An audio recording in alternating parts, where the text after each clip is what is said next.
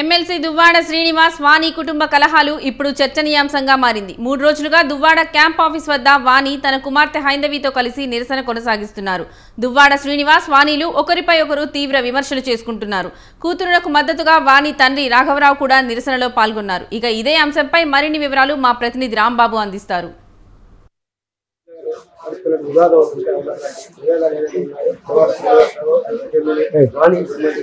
అయితే ప్రస్తావించారు. ఈ నేపథ్యంలో కింద వచ్చి పూర్తి వివరాలు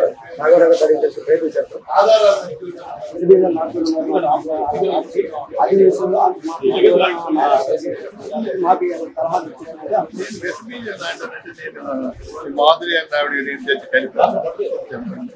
అది వెరిఫికేషన్ నేను నాటింది ఆడ నాటింది అలాంటి అబద్ధాలు చెప్తుందని జవాబు ఎవరు చెప్తారు మనిషికి నీతి నిజాయితీ జ్ఞానం పెరుగుతున్న వరకు వయసు పెరుగుతున్నప్పుడు బ్రెయిన్కి కొంత జ్ఞానం కూడా పెరగాలి మళ్ళీ ముసలవుతున్నప్పుడు జ్ఞానం తగ్గుతుంది కుర్ర వయసులో ఆలోచనలు వేరు పెరుగుతున్న కొంచెం మార్చిన ఆలోచనలు వేరు మరికొద్దిగా పెరిగేటప్పుడు ఒక పద్ధతిలో బ్రెయిన్ పెద్దవాళ్ళకి ఆలోచన డిఫరెంట్గా ఉంటుంది ఇప్పుడు ఆలోచన పెరుగుతున్న కొద్దీ ఇతను ఇలాంటి తప్పుడు వ్యవహారాలు తప్పుడు మాటలు ఇల్లీగల్ కాంట్రాక్ట్స్ ఇది ఏం పద్ధతి అండి అది తానేమి పెద్దవాళ్ళ మీద కుటుంబ సభ్యుల మీద అత్తమామల మీద తల్లిదండ్రుల మీద చూస్తుంది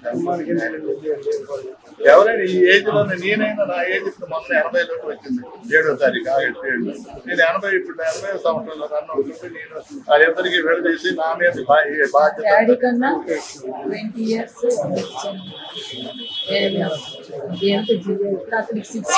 సిక్స్ నాకే ట్వంటీ నైన్ ట్వంటీ నైన్ ఆయన సీనియర్ సిటిజన్ ఇయర్స్ అంటే సీనియర్ సిటిజన్ నాది నేను నా డబ్బులతో కట్టాను. వాళ్ళ తమ్ముడు చెప్పు అతనికి ఉండే స్టేజ్ ఏంటి అతనికి ఉండే ఇన్కమ్ ట్యాక్స్ రిటర్న్స్ ఏంటి అతనికి ఉండే సంపాదన ఏంటి అతనికి ఉండే బిజినెస్ ఏంటి ఆ- వాళ్ళ అన్న పేరున అతని అన్న బ్యాక్గ్రౌండ్ అతని అన్నకు వచ్చింది నా తల్లిదండ్రులు నా వల్ల అతని అన్నకు వచ్చింది. ఆ బ్యాగ్లో నా యూజ్ చేసుకుని వాళ్ళ రూపాయలు సంపాదన ఇల్లు లేని వాళ్ళు ఇల్లు పట్టుకొని ఈ రోజు నా ఇల్లు కట్టారు నా కాసు ఇచ్చారంటే అది అందరికీ నిజమైన అబద్ధమైన తెలుసు. ఆయన ఎలా కట్టారు ఏం కట్టారు అందరూ ఆ డీటెయిల్స్ అని మాకు చెప్పండి ఆయన మొత్తం మీద నిజంగా ఇచ్చి ఆ ఇస్తే మేము క్లియర్ చేస్తాం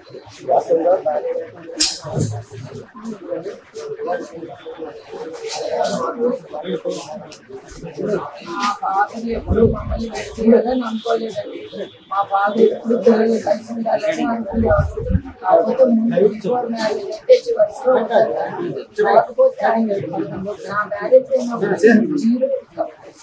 సో నాకు ఎడ్యుకేషన్ ప్రాసెసించారు ఆ ఎడ్యుకేషన్ ప్రాసెస్ నేను నేను విడిపోతానే కానీ నా కాగితం కూడా చింపేసి భయభ్రాంతులు సృష్టించేసి నువ్వు వెళ్తే మీ ఫాదర్ నాకు విడదీసేస్తారు నాకు దూరం చేసేస్తారని ఆ రకంగా టెన్షన్ అయ్యి భయపడుతూ మళ్ళీ మా ఫాదర్ వాళ్ళ ఇంట్లోనే శ్రీగోకులంలో మా డాడీ కొద్ది రోజు నుంచి మా ఫాదర్ చూసుకోవడం మేడ మీద మేము మా వాళ్ళకి ఎక్కడ ఉండలేము అక్కడ మా డాడీ ఒక కుక్కుని పెట్టి డ్రైవర్ శ్రీనాథ్ ఆయన పెట్టి ఇంకొక శ్రీరామ్ అని కుర్రోడిని పెట్టి డైలీ ఫైవ్ ఇద్దరికి ఫుడ్ వండిస్తూ నా అవన్నీ ఆయన